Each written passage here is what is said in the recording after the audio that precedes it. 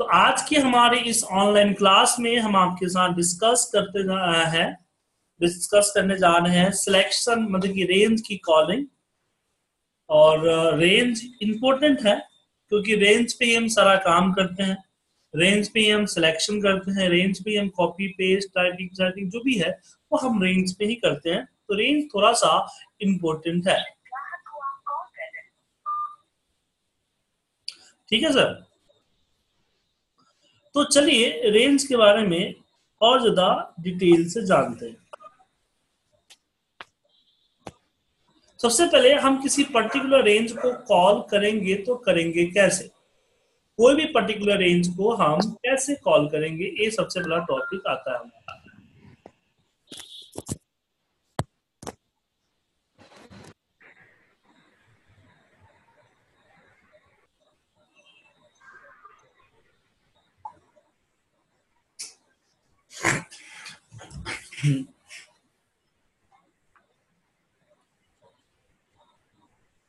हमने इंसर्ट पे गए मॉड्यूल्स को इंसर्ट किए। सब्जेक्ट एक सब्जेक्ट लेते हैं। और यहाँ पे हम देते हैं। रेंज के लिए हम लिख सकते हैं रेंज यहाँ पे ए वन डॉट सेलेक्ट ठीक है? Range A one dot select या लिख सकते हैं cells one comma one dot select right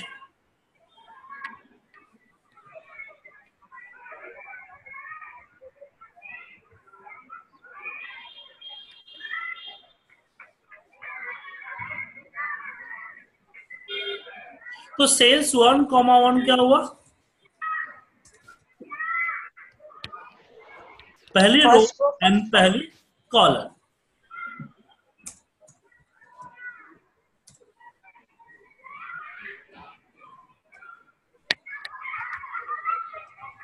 तो cells one comma one dot select मतलब हुआ A column one and column two और तीसरा हमारा है एक्टिव सेल्स ये हमारा सेल्स का कॉलिंग मेथड है कि किसी रेंज पे अगर कुछ करना है तो खाए तो रेंज ए वन या सेल्स या एक्टिव सेल कहला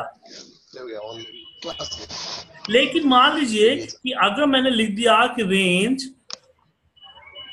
A one dot select तो हमने लिखा range A one dot select तो क्या करेगा? कि जो हमारी एक्टिव सीट होगा उसी के रेंज ए वन को सिलेक्ट कर लेगा।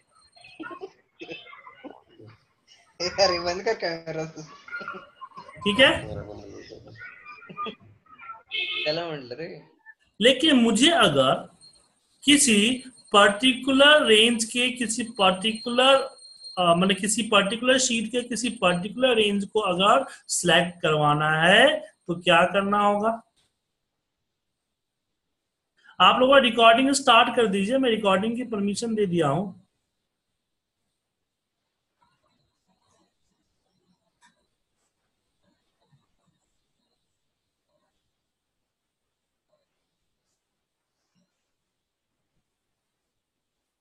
तो यहाँ पे अगर मान लीजिए सी टू के ए रेंज ए वन को सिलेक्ट करना है तो आपको लिखना पड़ेगा यहाँ पे ऊपर में शीट्स और यहाँ पे इन्वर्टेड कॉमा में शीट टू डॉट सेलेक्ट ये आपको लिखना पड़ेगा।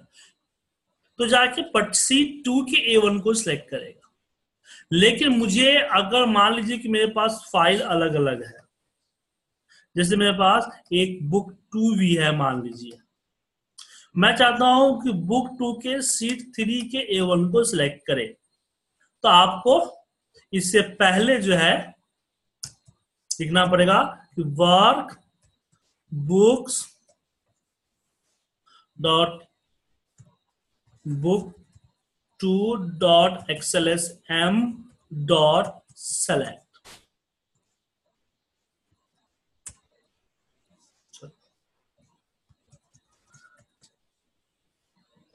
तो एक्टिवेट होता है, माफ़ कीजिए सिलेक्ट नहीं होता है। बुक एक्टिवेट होता है। तो अगर आपको पता है कि सिर्फ़ मेरा एक्टिव फ़ाइल सेल ये जो सीट एक्टिव है, उसी पे काम करना है तो इसी रख दीजिए। आपको पता है कि एक्टिव फ़ाइल के सीट टू के चाहिए तो फिर वर्कबुक देने की ज़रूरत नहीं है।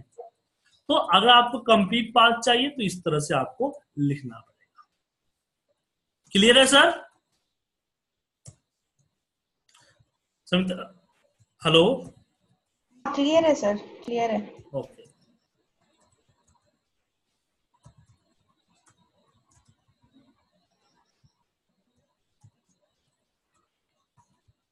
अब मुझे एक पर्टिकुलर रेंज को सिलेक्ट करना है तो उसके लिए क्या कोड ये हैंग हो गया।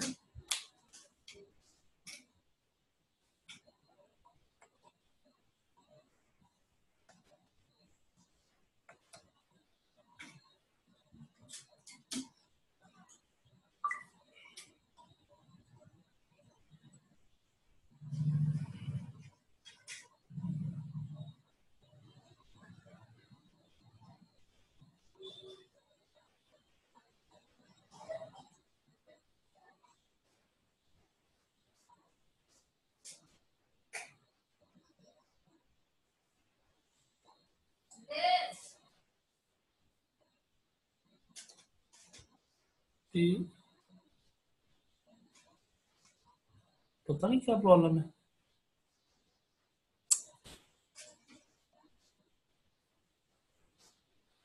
हाँ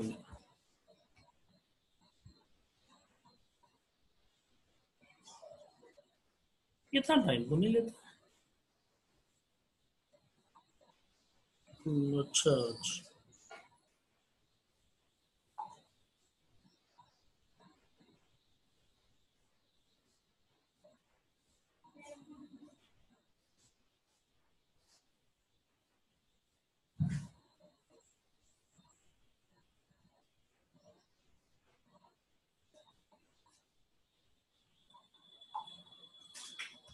ओके चलिए। मुझे अगर मान लीजिए इस इस एरिए को सिलेक्ट करना है, मुझे ए वन से लेके जी फोर्टीन को सिलेक्ट करना है। तो ए वन से लेके जी फोर्टीन को सिलेक्ट करने का कोड होगा। जैसे नॉर्मल हम एक्सेल में करते हैं लोग ना, कि ए वन से जी फोर्टीन डॉट सेलेक्ट तो ए वन से जी फोर्टीन को सिलेक्ट कर लेगा या फिर दूसरा तरीका जो वीवीए का तरीका होता है, वो होता है कि रेंज ए यहाँ पे range A one comma G fourteen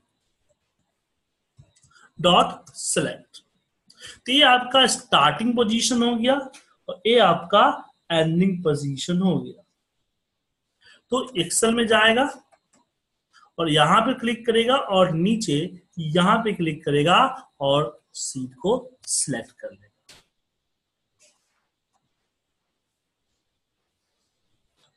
ठीक है?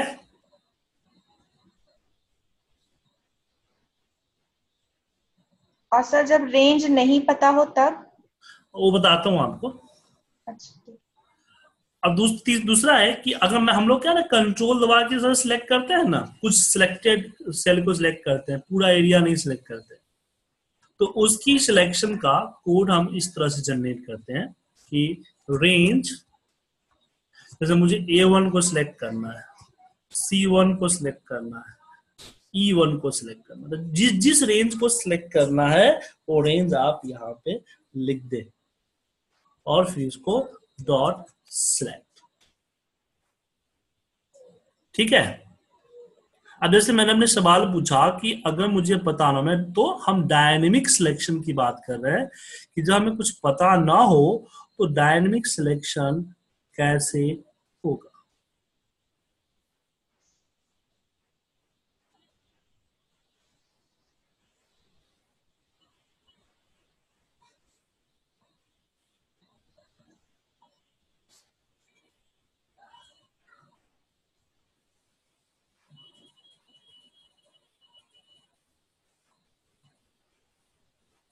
तो उसके लिए सबसे पहले हम कंट्रोल ए जो हमारा होता है हमने इसको सिलेक्ट किया और कंट्रोल ए महेंद्र जी आपने ज्वाइन किया है क्या?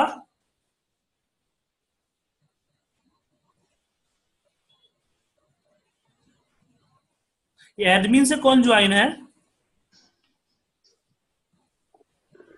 Vishwajit sir okay okay. तो अगर मुझे कंट्रोल ए करना है तो हम लोग क्या करते हैं, कहीं भी कर्सर रखते हैं और यहाँ पे हम कंट्रोल ए करते हैं तो पूरा एरिया हमारा सिलेक्ट हो जाता है। तो यहाँ पे हम लिखेंगे range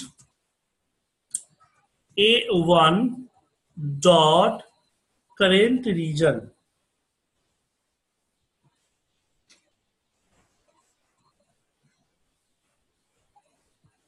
current region dot select अब करेंट रीजन क्यों किए?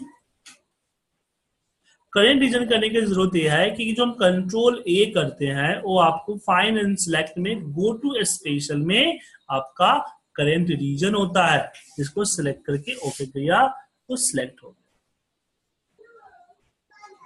समझ गए?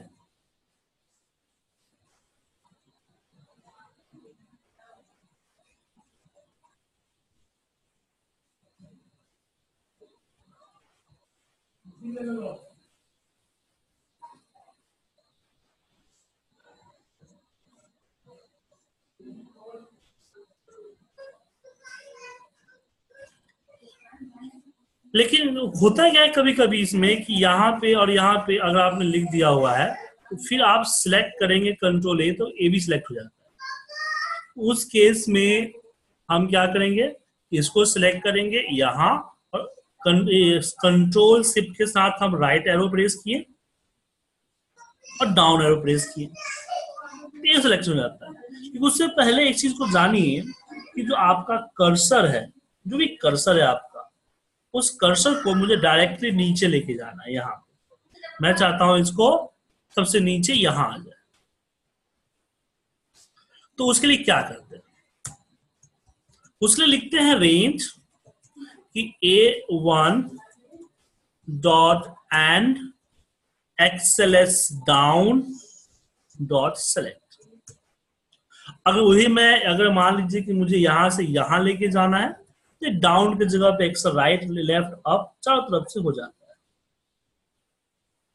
तो इसकी कोई प्रॉब्लम नहीं है।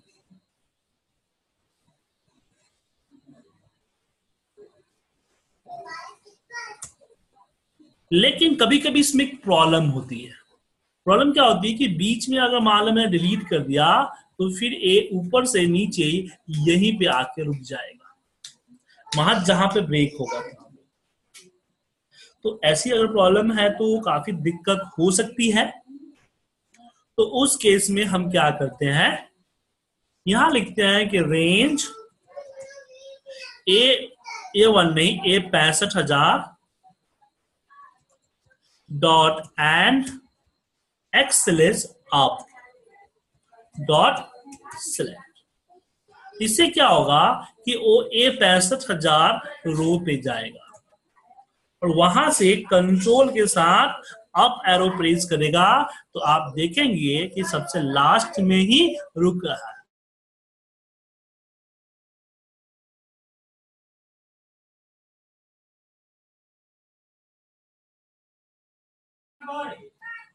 तो यहाँ पे हम आपको बताए कि इस तरीके से करते हैं। तो यहाँ पे क्वेश्चन उठता है कि हम कोड में ए पैंसठ हज़ार ही क्यों लिए? यहाँ पे आप दस लाख, पंद्रह लाख अपने अकॉर्डिंग से ले सकते हैं। लेकिन मैं पैंसठ हज़ार इसलिए लेता हूँ क्योंकि मेरी एक कोड एक्सेल की एक्सेलेंस फ़ाइल जो 2003 की होती है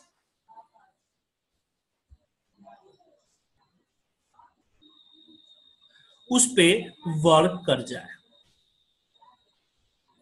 समझे?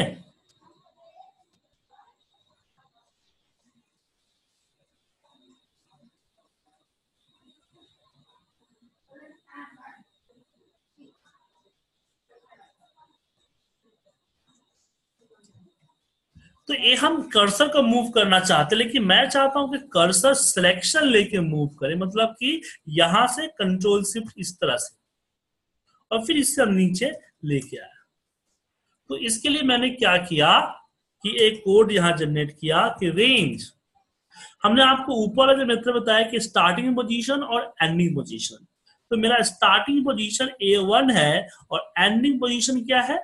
हमने बोला कि रेंज ए वन से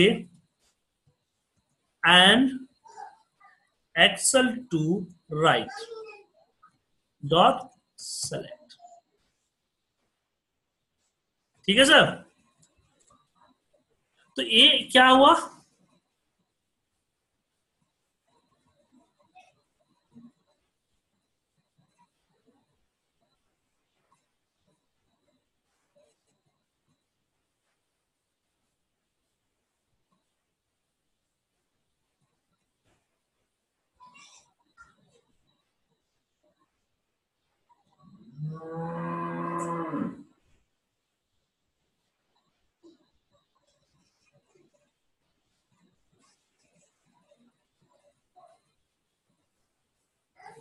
और फिर यहाँ पे लिखेंगे सॉरी फिर यहाँ पे लिखेंगे कि selection comma selection dot end XL down down dot select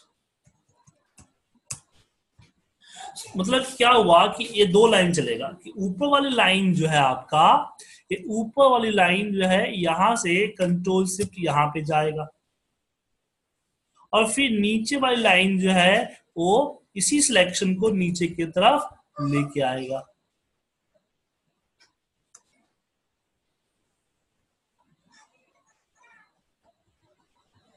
ठीक है?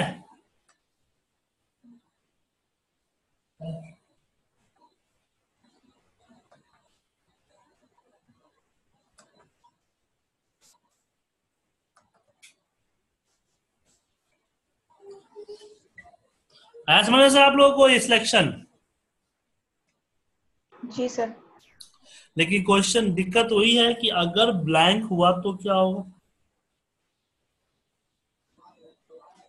कि अगर आपका सेल मान लीजिए कि यहाँ भी सीरीज़ ब्रेक है और यहाँ भी सीरीज़ ब्रेक है तो आप सिलेक्ट करोगे तो आपका इतना ही डेटा सिलेक्ट होगा ना कि पूरा डेटा सिलेक्ट होगा। क्या हुआ महेंद्र जी? क्या? अभी ज्वाइन किया है। किस नाम से किया? हाँ रवि ठीक है, चलिए।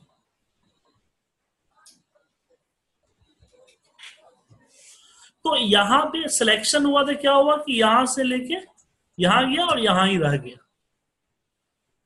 तो इस सिलेक्शन को और ढंग से चलाने के लिए मैं क्या किया? यहाँ पे मैं लिखूँगा कि रेंज एक वेरिएबल लूँगा कि R C C equal to range X F D one dot end xl to left dot colon और आर इक्वल टू किया मैं रेंज ए पैंसठ हज़ार dot end xl to up dot row अभी क्या बताइए? अब सबसे पहले समझिए कि आर और सी क्या तो आर और सी वेरिएबल्स है जैसे कि आप लोग अपने इसमें मैथमेटिक्स पढ़ते थे, उसमें आप लोग X Y Z A B C D लेते थे ना? ऐसे मैंने यहाँ भी एक्स वाई जेड ले लिया टेम्परली होल्ड करने का। अब ए एक्सेप्ट वन और ए क्या है? ए लाइन क्या करता है? ये हमारे डेटा में जाता है और सबसे लास्ट वाले कॉलम जो है एक्स एफ़ डी वन यहाँ से कंट्रोल के साथ लेफ़्ट एरो की प्रेस करता है और सबसे लास्ट वाले कॉलम में चला आता है। अब इसमें फ़ायदा क्या हुआ कि इससे नीचे जो इस, इसके बाद जो ब्लैंक रो वगैरह है इससे कोई फ़र्क इसको नहीं पड़ रहा है। अब इसका कॉलम नंबर उसने सी को दे दिया और सी उसको स्टोर कर लिया जो भी इसका कॉलम नंबर है, आपका सात है तो सात को इसने स्टोर कर लिया फिर दूसरा लाइन क्या करता है कि वो नीचे पैंसठ हज़ार से ऊपर की ओर जाता है और इसका रो नंबर ले जाता है, जो कि चौदह है। तो सात कॉलम एंड चौदह रो तो डेटा यहाँ आएगा। तो आपका डेटा का लास्ट सेल्स जो है, वो पता चल जाता है। अब इसको सिलेक्ट करने के लिए हम क्या करेंगे? यहाँ लिखेंगे कि रेंज स्टार्टिंग पोजीशन हमें पता है कि हमारा ए वन है और एंडिंग पोजीशन के लिए हमने कर दिया cells R comma C dot select ये आपका सिलेक्शन मेथड है डायनेमिक रेंज सिलेक्शन कह सकते हैं। एक बार ऊपर से नीचे कोड को देखिए। और बताइए कि किस, कौन सा कंसेप्ट आपको समझ में नहीं आया?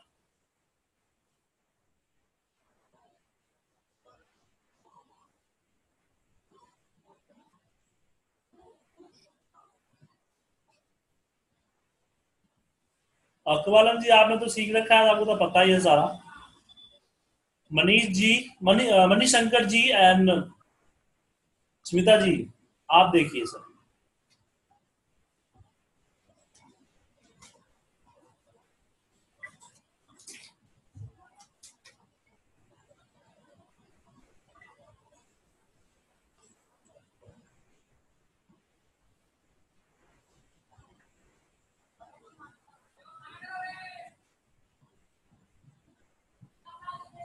अगर डेटा जो है ना सर सपोज़ डेटा जो है हमारा ए वन से स्टार्ट हो के नहीं कहीं और पड़ा है तो डेटा की स्टार्टिंग पोजीशन तो आपको पता ही होनी चाहिए ना वो कंपल्सरी है। एंडिंग पोजीशन खुद ब खुद ढूंढ लेगा बट स्टार्टिंग पोजीशन आपको पता होनी चाहिए। तो फिर ए वन हाँ अभी एक शीट के लिए तो ठीक है। हाँ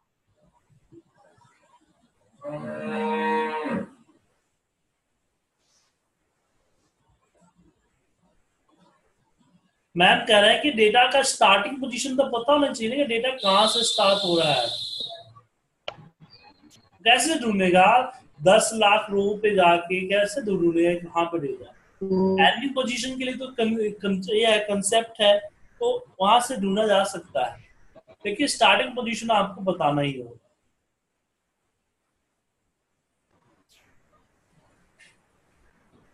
नहीं नहीं वो मैं समझ गई वो एक्चुअली नहीं नहीं वो कुछ मैं सोच रही थी तो। ठीक है आगे आपका आपकी जो प्रॉब्लम है उसको आगे भी हम देख लेंगे चिंता मत कीजिए ओके तो मैं पूछ रहा था आप लोगों से कि अब पहली चीज़ तो जानिए कि सारा कंसेप्ट आपने सीखा क्यों जैसे कि मैंने आपको सीट के बारे में बताया। तो शीट से आपने क्या किया कि आप जब भी शीट बनाएँगे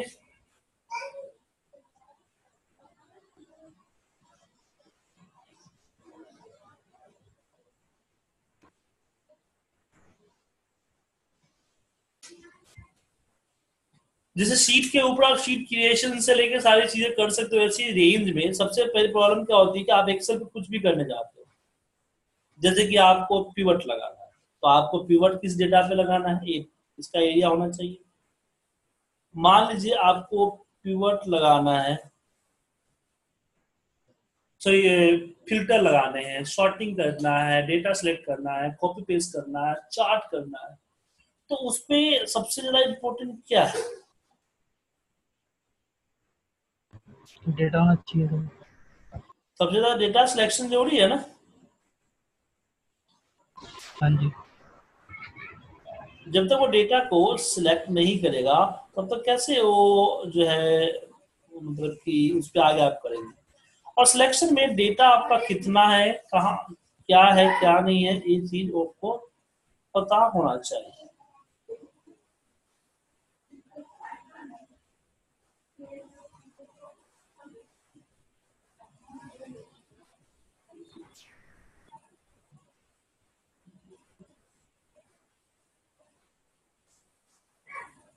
ठीक है? तो एलियन जो है सिलेक्शन मेथड आपको हर जगह काम आएगा, जहाँ भी हम करेंगे। तो इसको आप अच्छी तरह से जो है, देख लीजिए।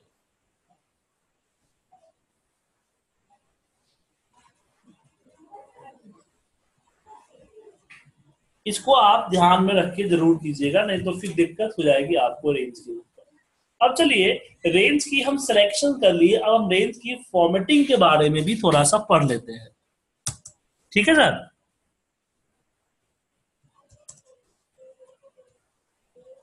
रेंज की फॉर्मेटिंग कि किसी पर्टिकुलर डेटा को आप कैसे फॉर्मेट करोगे? सिलेक्ट जैसे मान लो जो सिलेक्शन में मेथड है, वो लगा के आपने सिलेक्ट कर लिया। जैसे कि मैंने कंट्रोल ए ही ले लिया। यहाँ पे लिखा range A one dot current region dot select अब मुझे इसके ऊपर करेंट रीजन के ऊपर सिलेक्ट के ऊपर जो भी है, मुझे मान लीजिए कि कुछ चीज़ें अप्लाई कर। जैसे मुझे फॉन्ट अप्लाई करना सबसे पहले फॉन्ट के बारे में जानते हैं।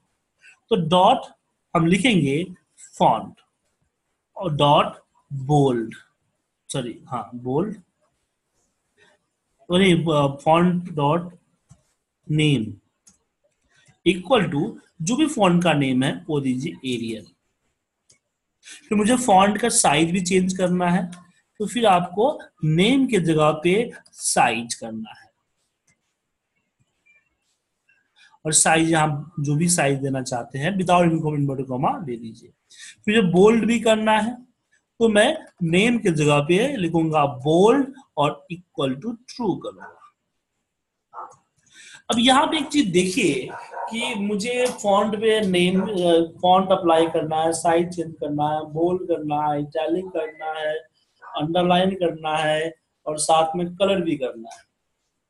तो ये सब करने के लिए मुझे हर बार, जो आप देख रहे हैं, मुझे हर बार range A one dot current region dot font देना ही पड़ेगा। तो कभी कभी आप जो रिकॉर्ड करते हैं तो बिथ कमांड देखते होंगे तो चलिए, हम बिथ कमांड को आपको समझाते हैं कि बिथ कमांड क्या करता है। तो यहाँ दिया कि with range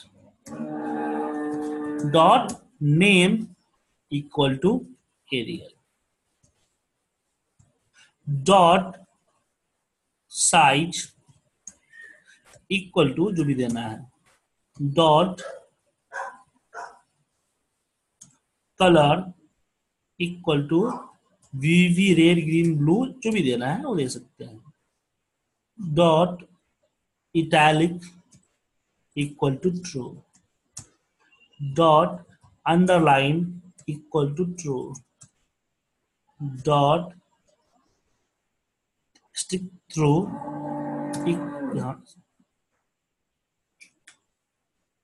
equal to true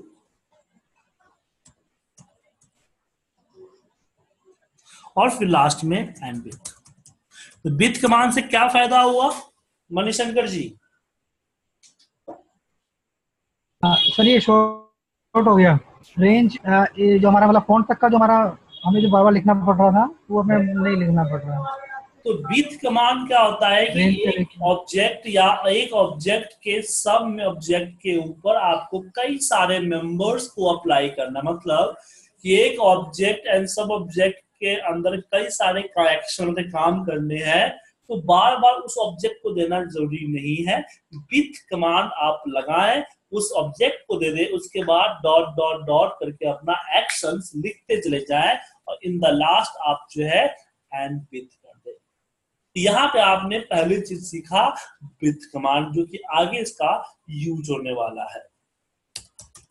दूसरा, आपने सीखा कि किसी भी एरिया के ऊपर हम फॉन्ट कैसे अप्लाई करते हैं, हम फॉन्ट की साइज़ कैसे चेंज करते हैं, हम कलर, फॉन्ट कलर कैसे चेंज करते हैं, हम फॉन्ट को इटैलिक अंडरलाइन स्टिक कैसे करते हैं। तो फॉन्ट की जो फॉर्मेटिंग होती है, वो आपने यहाँ पे सीख लिया। अब बात करते हैं कि अगर मुझे इसकी बैकग्राउंड कलर चेंज करना हो और कलर का कंसेप्ट क्या है, वो चलिए हम बात करते हैं। जैसे कि मैं यहाँ पे कलर अप्लाई करना है तो डॉट इंटीरियर डॉट कलर और इक्वल टू आप लिख सकते हैं VB red VB green VB blue VB white VB cyan VB magenta जो आपका कलर है, वो कलर आप इसमें दे सकते हो। लेकिन आपको जो है कलर चाहिए यहाँ, जो हम लोग कलर अप्लाई करते हैं, उस तरह का कलर चाहिए। कई सारे कलर चाहिए। तो उस केस में हम इस, जो है इस कलर के लिए इस्तेमाल क्या करेंगे? सॉरी उसको आप लोग देख लीजिए। तो कलर के लिए इस्तेमाल हम लोग करेंगे dot colour R G B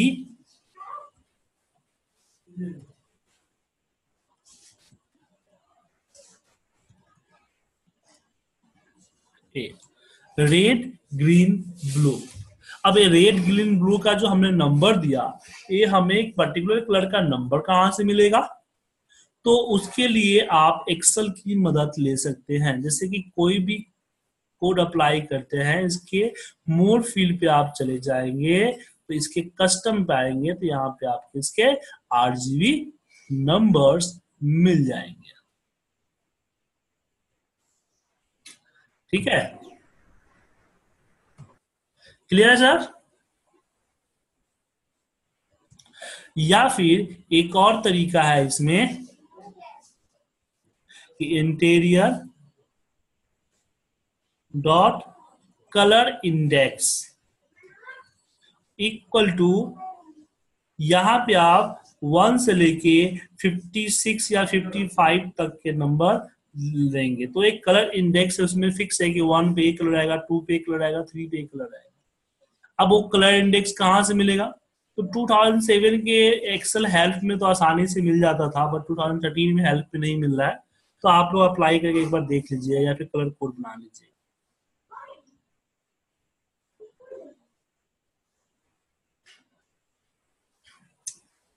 या चलिए, मैं कलर कोड बना ही देता हूँ।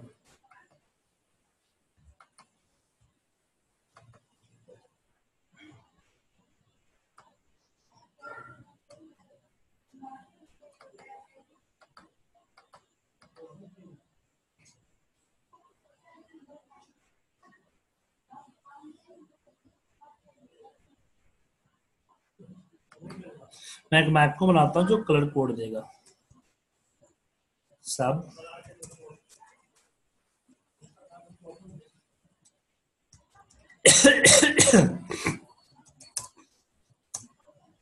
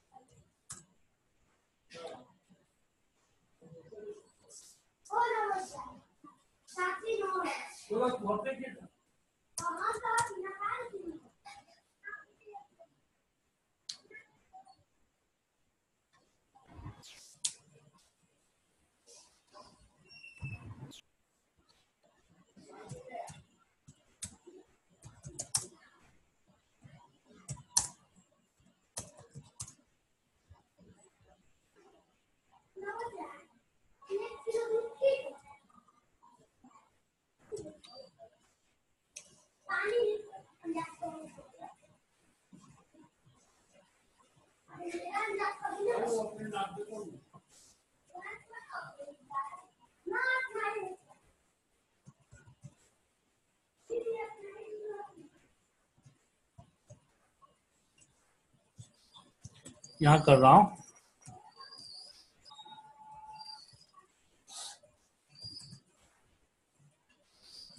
सेल्स पे ये नहीं आता है ऑटो सेशन नहीं आता है।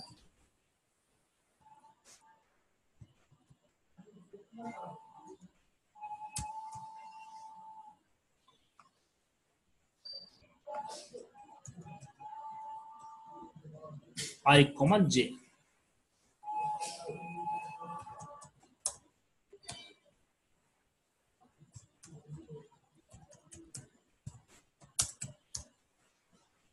चलिए।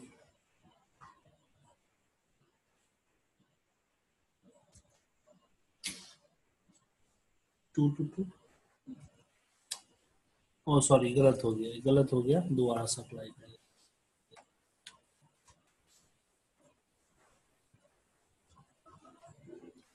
ये आई नहीं होगा आर होगा। और यहाँ R equal to R plus one होगा। और यहाँ भी आर होगा।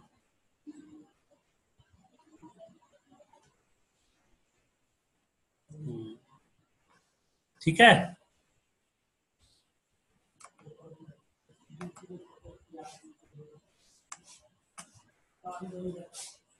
ये आपके कलर इंडेक्स नंबर है।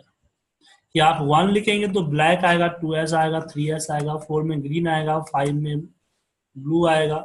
डार्क ब्लू आएगा। ये आपके कलर इंडेक्स नंबर है।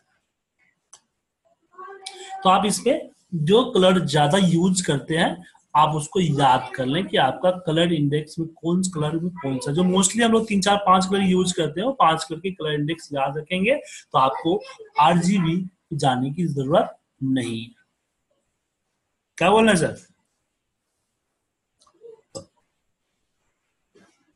पाँच की जगह मैं दस करता हूँ।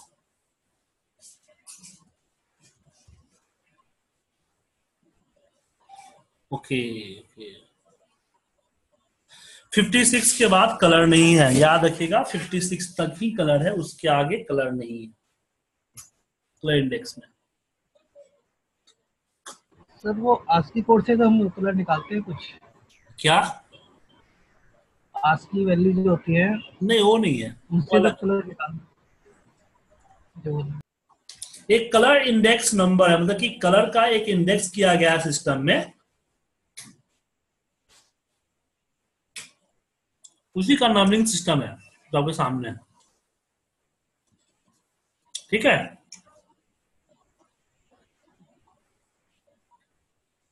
चलिए। तो हम फॉन्ट अप्लाई करना सीख गए और हम कलर करना सीख गए। क्या बचता है? बॉर्डर कि आप बॉर्डर कैसे अप्लाई करोगे? तो उसका लिखेंगे रेंज जो भी एरिया आपका है ए वन से लेके सी फिफ्टीन है, जो भी एरिया आपका है डॉट बॉर्डर्स और dot line style equal to xl continuous या वन कर दे दोनों एक ही है। ऑल बॉर्डर जो होता है, उसके लिए। लेकिन, जब भी आप रिकॉर्ड करते हैं तो रिकॉर्डिंग माइक्रो में मान लीजिए आपने कोई बॉर्डर अप्लाई किया, मैंने मैंने ऑल बॉर्डर अप्लाई किया। तो आप देखते हैं कि अजीब तरह का बॉर्डर कोड आता है, देखिए।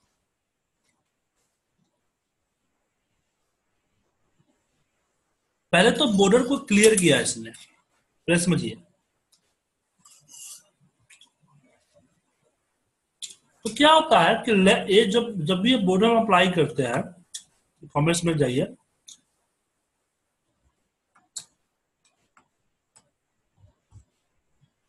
ये बॉर्डर है। Up middle down left centre line centre vertical ये सब चीज़ें होती है। तो यही आपका होता है कि अगर बॉर्डर आपको कंटिन्यूस चाहिए मतलब कि कुछ नहीं करना है तो आप यहीं पे मेरा जो कोड है, इसको अप्लाई करें। आपको टॉप में बॉर्डर चाहिए मिडिल में चाहिए लाइन चाहिए, वगैरह वगैरह। तो फिर आपको इस मेथड का इस्तेमाल करना होगा। देखिए, कि border xl edge left left से है। लाइन स्टाइल क्या होना चाहिए कंटिन्यूस होना चाहिए। कलर इंडेक्स ज़ीरो होना चाहिए। कोई कलर डिफ़ॉल्ट कलर मतलब। इसका थीन से भी ज़ीरो होना चाहिए। और इसका जो वेट मतलब किसकी जो मोटाई है एक्सल थीन होना चाहिए। मोटा चाहिए तो एक्सल थिक होगा। तो ऐसे यहाँ पे इसकी बोर्डर की कोडिंग की गई है। सेम अगर अलाइनमेंट में आप करते हो, मैं रिकॉर्डिंग बता देता हूँ आपको। तो अलाइनमेंट भी कोड कुछ इसी तरह से बनते हैं। देखिए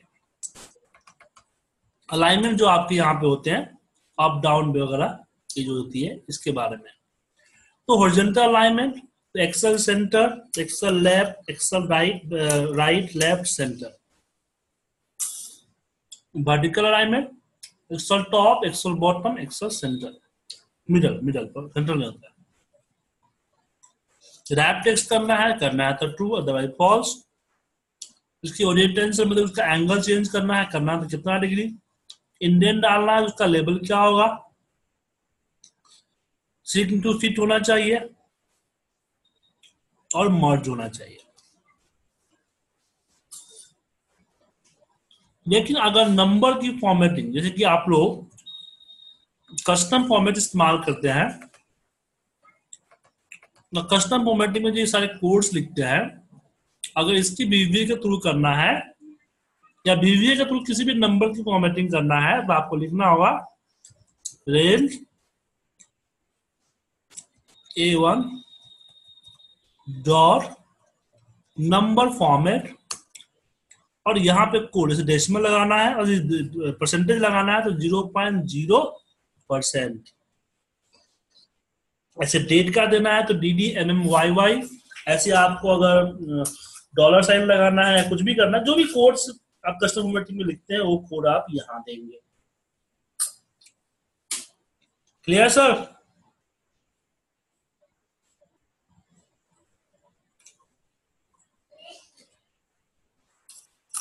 तो इस वीक का प्रोजेक्ट आप लोग लिखे।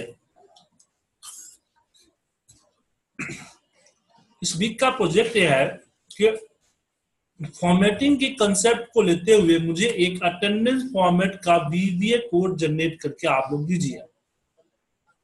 ठीक है? क्या करेंगे? कि आप वीवीए कोड का इस्तेमाल करके